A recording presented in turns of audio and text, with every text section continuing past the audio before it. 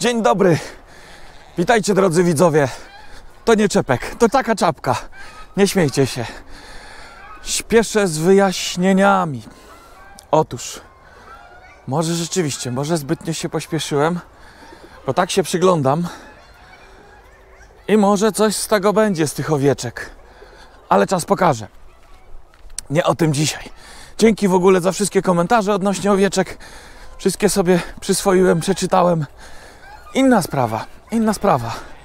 Drodzy widzowie, eee, jakiś czas temu, tydzień czy dwa temu byłem u pana Roberta. Panie Robercie, serdecznie pana i pana małżonkę pozdrawiam. A was, drodzy widzowie, zapraszam na krótki, bardzo krótki filmik pokazujący hodowlę pana Roberta. Powiem tak. Bardzo mocno pan Robert mnie zainspirował w budowaniu wolier.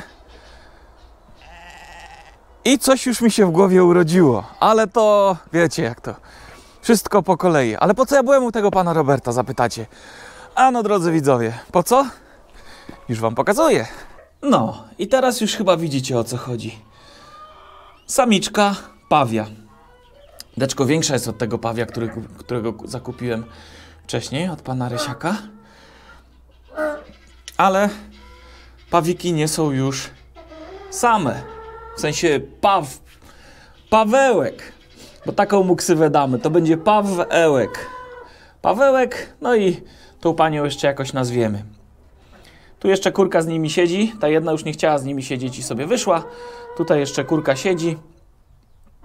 No i parka się tutaj, że tak powiem, ze sobą oswaja.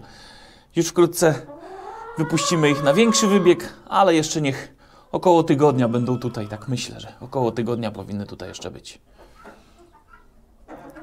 Czekajcie, niech ja tak lepiej pokażę. O, to jest właśnie ta samiczka, którą u pana Roberta nabyłem, a to jest ten samczyk od pana Józka.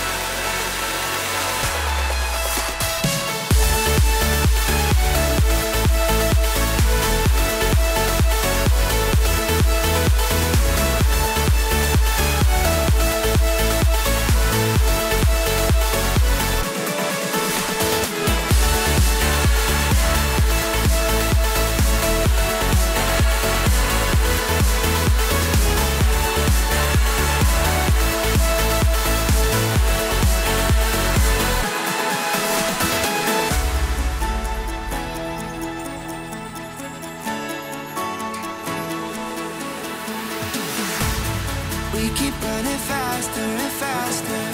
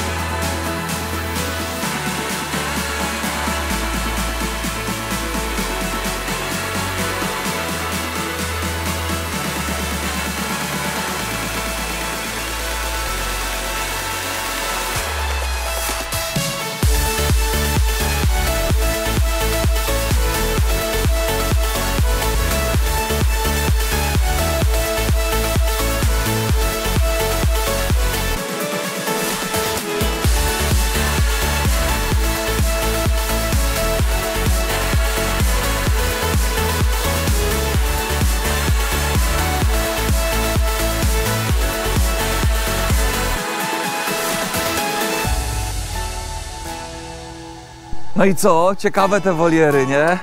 Kurczę, jest co, na co popatrzeć, naprawdę. E, zimno, bardzo zimno wtedy było i mroźno. Zmarzłem niemiłosiernie, ale naprawdę byłem tam, no chwilę by tam byliśmy i, i dużo cennej wiedzy od pana Roberta uzyskałem odnośnie hodowli, jak się zajmować zwierzętami, więc bardzo, bardzo serdecznie za to dziękuję. A wy, drodzy widzowie, jak wam się podobało, no to może jeszcze kiedyś pana Roberta odwiedzimy, ale w, w okresie letnim, bo w okresie letnim ten jego ogród ponoć jeszcze fajniej wygląda i te wszystkie woliery, więc to na przyszłość. Jeśli chcielibyście, żebym się tam jeszcze pojawił, dawać znać w komentarzach, a ja już będę działał w tym kierunku. Kurczę, zimno mi źle się ubrałem. Drodzy widzowie, dzięki za dzisiaj. Trzymajcie się, czekam na Wasze komentarze, czy Wam się podobało u Pana Roberta, czy nie. Ja korzystając z okazji jeszcze raz serdecznie pozdrawiam Pana Roberta i Pana Roberta żonę. Niestety nie wiem jak się Pani nazywała, więc w ten sposób. Dzięki, trzymajcie się, do następnego. Cześć!